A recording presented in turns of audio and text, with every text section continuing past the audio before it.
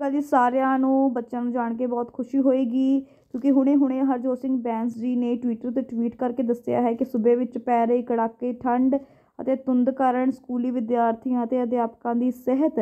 ਸੁਰੱਖਿਆ ਦੇ ਮੱਦੇਨਜ਼ਰ ਪੰਜਾਬ ਦੇ ਸਾਰੇ ਸਕੂਲ ਸਕੂਲ ਜਿਹੜੇ ਨੇ, ਭਾਵੇਂ ਉਹ ਸਰਕਾਰੀ ਨੇ, ਐਡਿਡ ਨੇ, ਮਾਨਤਾ ਪ੍ਰਾਪਤ ਜਾਂ ਫਿਰ ਪ੍ਰਾਈਵੇਟ ਸਕੂਲ ਸਾਰੇ ਸਾਰੇ ਹੀ ਮਿਤੀ ਦੋ ਇੱਕ ਦੋ ਹਜ਼ਾਰ ਤੇਈ ਤੱਕ ਜਿਹੜੀਆਂ ਛੁੱਟੀਆਂ ਸੀਗੀਆਂ, ਪਹਿਲਾਂ ਪਰ ਹੁਣ ਇਹ ਵਧਾ ਕੇ ਅੱਠ ਇੱਕ ਦੋ ਹਜ਼ਾਰ ਤੇਈ ਤੱਕ ਜਿਹੜੀਆਂ ਨੇ ਛੁੱਟੀਆਂ 'ਚ ਵਾਧਾ ਕਰ ਦਿੱਤਾ ਗਿਆ ਹੈ। ਸੋ ਜਿੰਨੇ ਵੀ ਸਕੂਲਸ ਨੇ, ਸ ਪੰਜਾਬ ਦੇ ਵਿੱਚ ਉਹ ਹੁਣ ਬੰਦ ਰਹਿਣਗੇ ਅੱਠ ਤਰੀਕ ਤੱਕ ਅਤੇ ਨੌ ਤਰੀਕ ਨੂੰ ਦੁਬਾਰਾ ਤੋਂ ਸਕੂਲ ਜਿਹੜੇ ਨੇ ਉਹ ਖੋਲ੍ਹੇ ਜਾਣਗੇ, ਠੀਕ ਹੈ? Punjab government has extended winter holidays in all the government private aided schools of the state till January 8th 2023 school will reopen on 9 January 2023 thank you for more videos. Like share and subscribe